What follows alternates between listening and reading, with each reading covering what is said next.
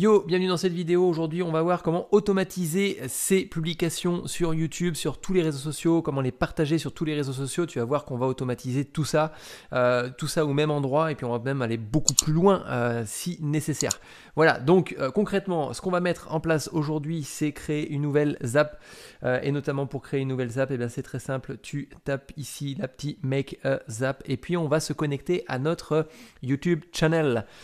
pour ça, bah, tout simplement, je vais rechercher YouTube dans ma liste euh, des possibilités, des apps qui sont euh, disponibles. Et puis en même temps, je vais aller sélectionner ma. Alors, je vais sélectionner un événement dans un premier temps, notamment le fait d'avoir un nouveau, euh, enfin une nouvelle vidéo sur un channel, sur une, sur une chaîne spécifique. Donc du coup, je vais faire continuer. Euh, il va me demander de sélectionner un compte YouTube derrière. Donc pour le coup, il va falloir que je me connecte à mon compte YouTube actuel, euh, qui est bah, celui de Nico Develop, aussi simplement que ça. Je vais donc cliquer sur Nico Develop et euh, aller rechercher tout ça. Donc voilà, il fait la petite connexion qui va bien. On va attendre. Effectivement, tu peux gérer mon compte YouTube et tu peux gérer mes vidéos YouTube. Ça me pose pas trop de problème compte tenu du fait que c'est ce que je te demande. Euh, tu as la possibilité, petite astuce, parce que quand tu commences à faire ça, tu vois, tu as YouTube 1, YouTube 2, machin et tout ça, c'est un petit peu relou. Euh, tu vas sur Edit Account. Tu vas aller chercher ta chaîne et puis tu vas la renommer de telle sorte à plus tard pouvoir retrouver ça, surtout si tu gères plusieurs chaînes. Donc là, je vais faire hop, YouTube 2. Ici, on va chercher, on va l'appeler Nico Develop. Voilà, hop, c'est fini. Boum, je fais un petit contrôle R pour rafraîchir euh, ma zap et faire en sorte qu'il prenne en compte le nom de ma chaîne YouTube. Et hop, continue. Donc là, ce que l'on va chercher à faire euh, par la suite, ça va être tout simplement d'aller donc insérer mon ID channel. Alors l'ID channel, normalement, si je me trompe pas, ça devrait être celui-ci. Euh, hop là. Et refresh field. Hop, je continue. On va faire test and continue pour récupérer la dernière vidéo que j'ai mis en ligne. Alors la dernière vidéo que j'ai mise en ligne, hop là, tu vas un petit peu trop vite gars. Euh, c'est celle-ci. Donc là, il bien, euh, voilà, comment concevoir une application web? C'est bien la dernière vidéo que j'ai mis en ligne qui est, euh, si tu euh, qui est celle-ci, d'accord euh, qui, est une vidéo qui présente un projet que je suis en train de développer et que tu peux suivre tout ça euh, dans les vidéos suivantes. Là, j'ai deux, en fin de compte, deux, deux, deux, channels, enfin deux channels, deux de suite de vidéos, une première suite de vidéos sur l'automatisation de ton business et une deuxième suite de vidéos sur euh, le lancement d'une future application que je vais mettre en ligne. Donc là, c'est la vidéo d'introduction, c'est la dernière vidéo et c'est parti, on a toutes les informations dessus. Donc ça veut dire que concrètement, on a le titre, on a la description, euh, on a les petits hashtags qui sont associés ici euh, et puis derrière, alors je fais un nouveau test là là-dessus, donc on verra bien ce que ça va donner, mais notamment tu as la liste des mots-clés qui sont directement dans la description. Je fais Done Edit. Où est-ce qu'on va bien pouvoir partager tout ça Eh bien, euh, pour le coup, on va peut-être aller faire un petit tour euh, sur Facebook dans un premier temps. Allez, boum, c'est parti.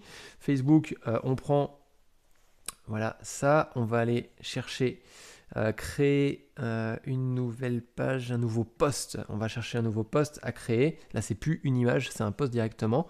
On va aller chercher notre compte, pour le coup, qui est celui-ci, si je me trompe pas. on va bien voir de toute façon. Je vais aller chercher la page qui m'intéresse. Est-ce qu'il va me proposer ma page Oui, j'ai bien ma page ici. C'est parti, Nico développe. Un petit message. Allez, pour l'instant, euh, dans le petit message, on va simplement mettre notre titre de vidéo et on va aller chercher à mettre l'URL ici. Donc l'URL, elle se trouve à cet endroit-là. Boum, c'est parti. Euh, j'ai mis tout ça. Alors là, à cet endroit-là, tu peux ajouter beaucoup d'autres choses. D'ailleurs, au final, d'ailleurs, euh, concrètement, on pourrait faire les gros cochons et directement aller chercher à mettre toute la euh, description.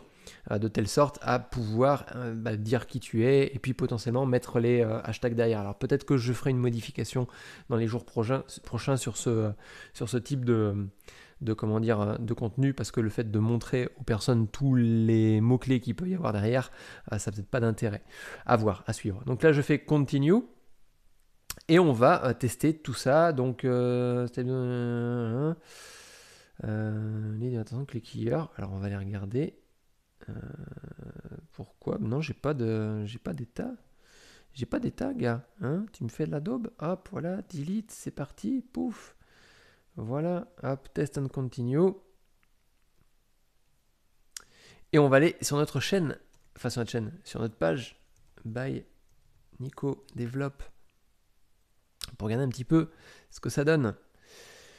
Donc là, euh, alors après, euh, différentes politiques, hein, tu peux euh, faire la promotion de ta chaîne YouTube directement sur Facebook ou directement mettre en natif les vidéos sur Facebook. Bien évidemment, Facebook va préférer, va privilégier, va mettre en avant plus facilement tes vidéos que tu mets en place en natif sur Facebook. Après, là, l'idée, c'est de te montrer un petit peu comment est-ce que tu peux faire ça à partir de YouTube.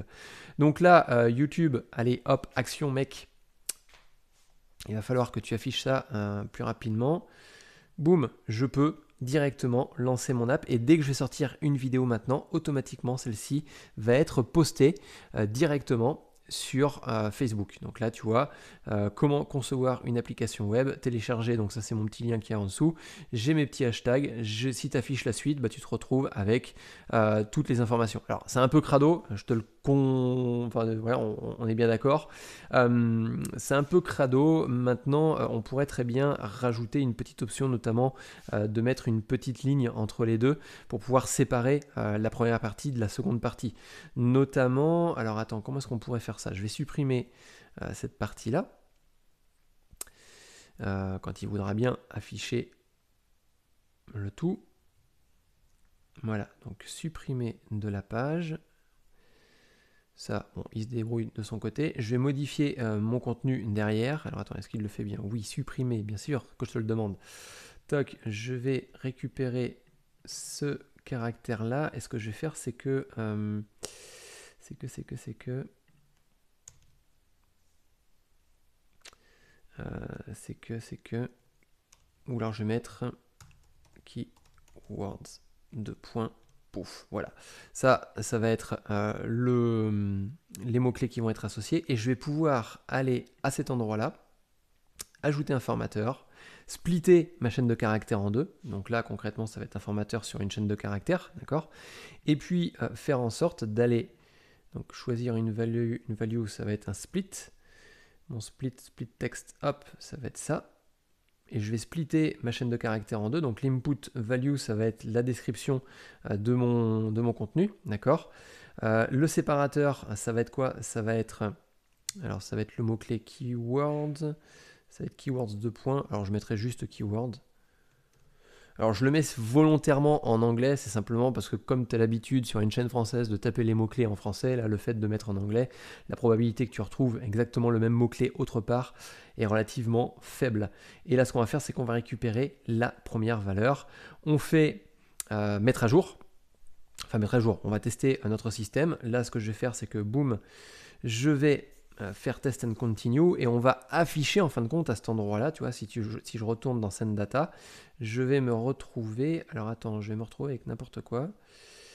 Tac, tac, tac, est-ce qu'il a récupéré? Il a rien récupéré le gars. Ah oui, non, euh, c'est normal. Pourquoi ça marche pas? Bah, Tout simplement parce que j'ai pas mis à jour mes données au-dessus. Là, je l'ai mis à jour dans ma description, je l'ai bien enregistré. Mais par contre, euh, ici, il va falloir que je fasse un get more sample pour pouvoir récupérer les dernières informations. Alors, j'espère que ça va fonctionner du premier coup. Voilà, keyword se trouve bien ici maintenant. Donc, je vais sélectionner la vidéo A pour pouvoir effectuer mes tests par la suite. Ça, c'est important. Faut pas oublier de le faire, un petit peu comme je viens de l'oublier de le faire, tu vois.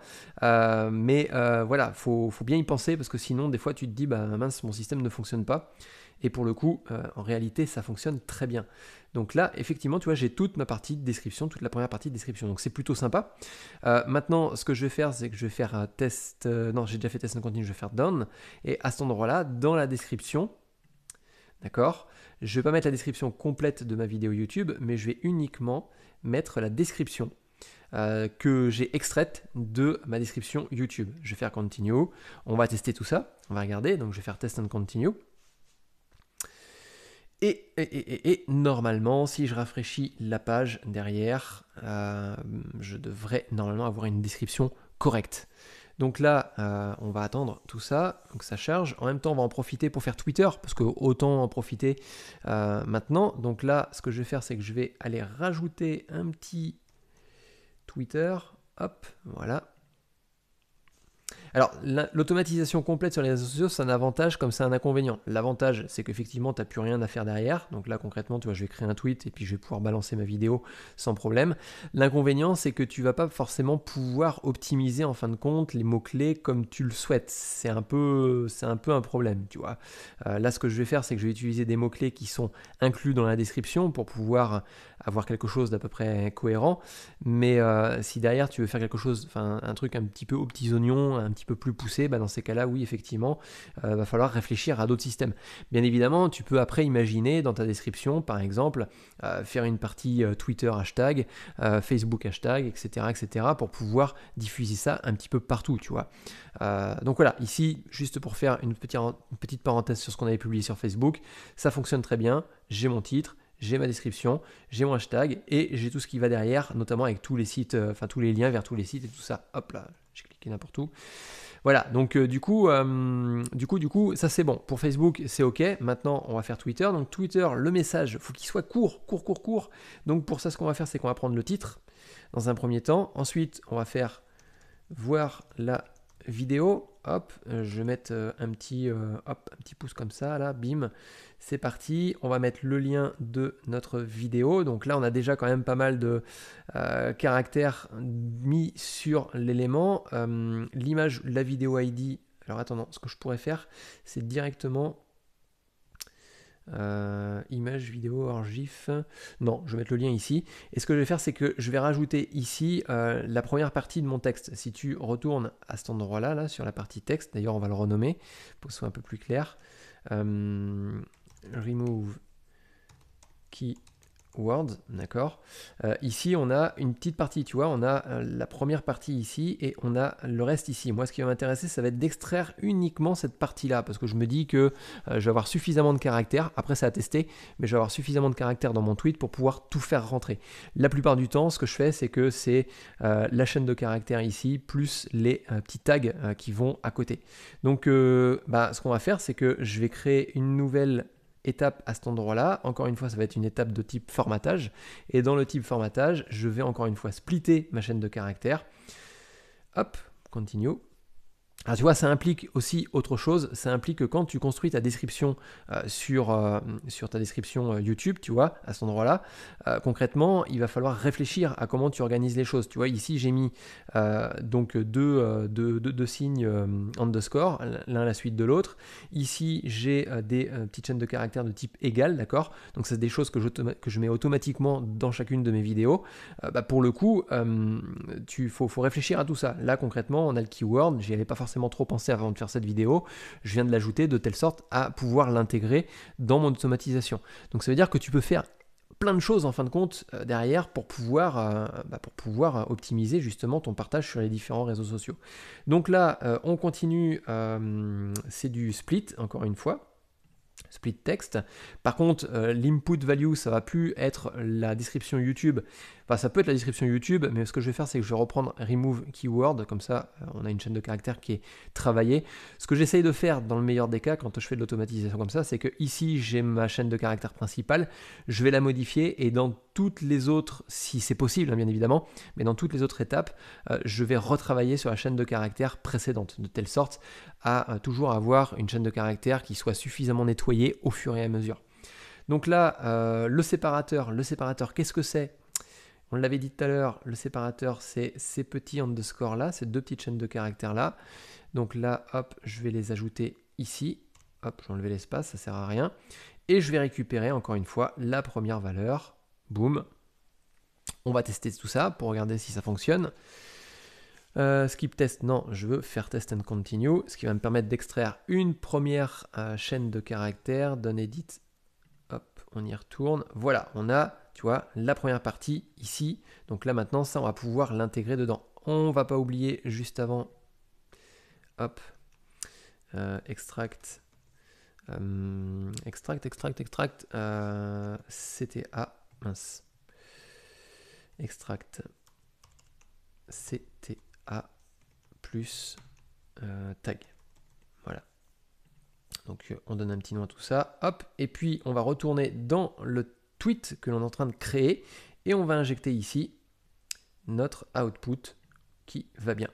Donc là, normalement, euh, on devrait être pas trop mal. Si je fais continue, alors faut que j'aille sur mon compte Twitter pour voir si ça fonctionne correctement. Je vais fermer mon compte, non, je vais laisser ouvert. Euh, et je vais aller dans mon profil pour regarder tout ça. Donc là, effectivement, euh, j'avais déjà posté quelque chose et tu vois, là, je l'ai posté à la main, donc du coup, j'ai mis directement les hashtags qui vont bien.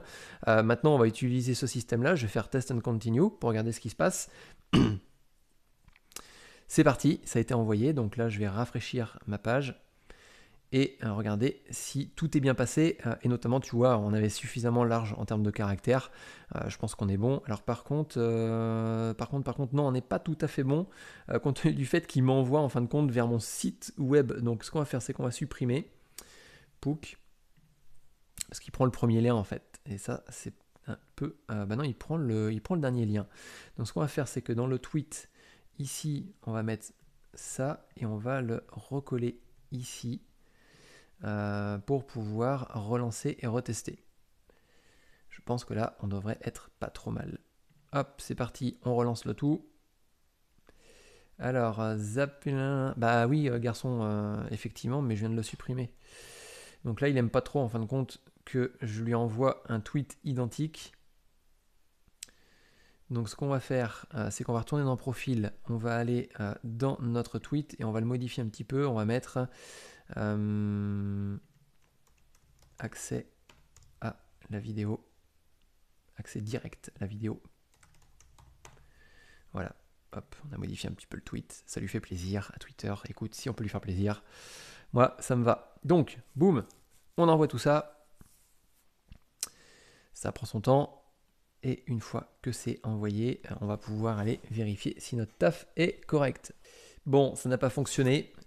effectivement, euh, ici, il veut absolument une vidéo et non pas euh, une URL vers une vidéo. Donc, on va modifier encore une fois notre contenu pour que ça fonctionne. Alors, je faire un petit test. Je t'avoue que d'habitude, je ne mets pas deux appels à l'action dedans.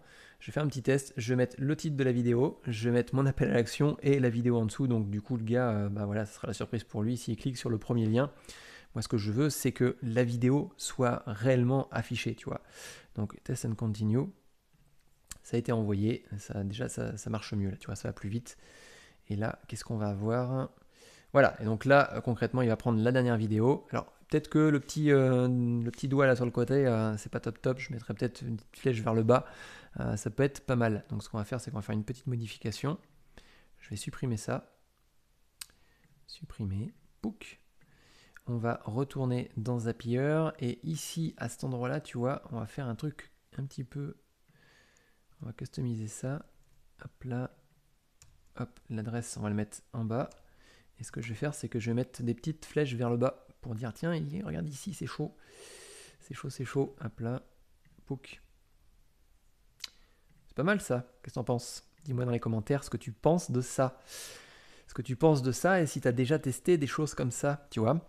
Euh, donc là, boum, on relance Twitter, c'est pas le même tweet, donc euh, théoriquement, il devrait pas m'embêter avec tout ça. Euh, il aime pas bien, hein il prend du temps, gars. Il prend du temps.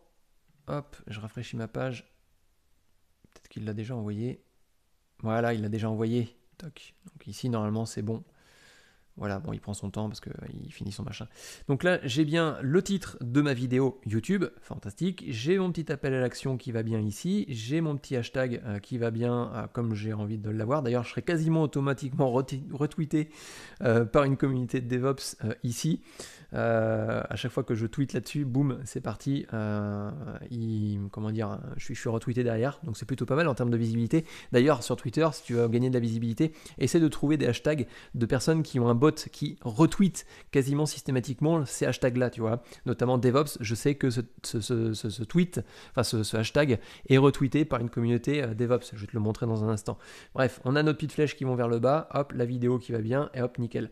Si je vais dans le profil, tu vois, juste en dessous, euh, j'ai, j'ai, j'ai, hop là, dans les statistiques, un retweet. Voilà, France DevOps, merci France DevOps. Euh, concrètement, euh, bah voilà, il retweet en automatique tout ce qui parle de DevOps, donc c'est plutôt sympa, enfin en tout cas la plupart. Et ça permet de gagner un petit peu de visibilité là-dessus, parce que si tu regardes les stats derrière, Hop, euh, je l'ai posté il n'y a pas très longtemps de ça. Hein. il y a, attends, est-ce qu'il y le time? Euh, Voilà, je l'ai posté il y a une heure. j'ai déjà eu 6 clique 6 engagements, alors il doit en avoir un pour moi, euh, et 128 euh, impressions euh, dessus, donc ça va assez vite, tu vois, quand, surtout quand tu n'as pas beaucoup de personnes qui te suivent sur Twitter pour l'instant. Donc là, on a automatisé notre, sur notre compte Facebook, sur notre compte Twitter, on peut aller plus loin, autant, autant aller plus loin, pourquoi pas aller voir du côté de LinkedIn, tu vois. et notamment, hop, on va afficher le profil LinkedIn tout de suite maintenant pour aller chercher, alors, share, create, share update. Hop là, c'est parti. Euh, on va, on va, on va, on va, on va, on va, on est sur mon profil pour le coup. On va, on va, voilà, allez, sélectionner le profil LinkedIn Nicolas. Euh, le compte a expiré. Eh ben, c'est pas grave, reconnecte-toi, vas-y, c'est reparti. On va se reconnecter à notre petit compte, mot de passe. Donc voilà, maintenant je suis connecté. On va faire continuer. Euh, le commentaire, le commentaire, qu'est-ce que ça va être? Eh bien, tiens, écoute, euh, on va utiliser exactement le même euh, hashtag qui est celui-ci. Voilà. on va mettre le titre avant, peut-être. Hein, c'est plutôt pas mal. Autant mettre le titre avant. Hop, le petit titre de notre vidéo. Hop, c'est parti. Un content title. alors en content title, on va remettre le titre de la vidéo, encore une fois. Euh, la content description, euh, bah, pour le coup, on va pas trop mettre de content description euh, là-dessus.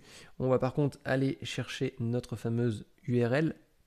Hop, et puis, alors c'est content URL image, c'est pas ce que je veux faire, puisque ça, ça va être généré tout seul. Et hop, ici, boum, l'URL à cet endroit-là.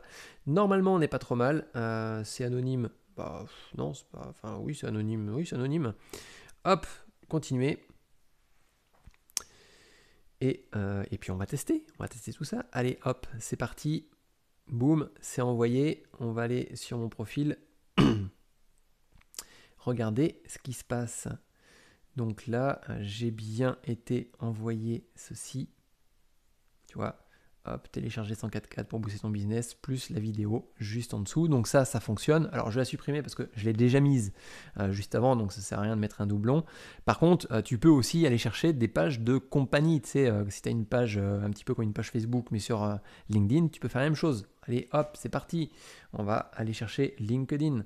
Pouf, LinkedIn, hop, c'est parti. On va aller chercher Create Company Update. Allez, c'est parti on va cliquer sur continuer. On va sélectionner Nicolas 3. Hop, continuer.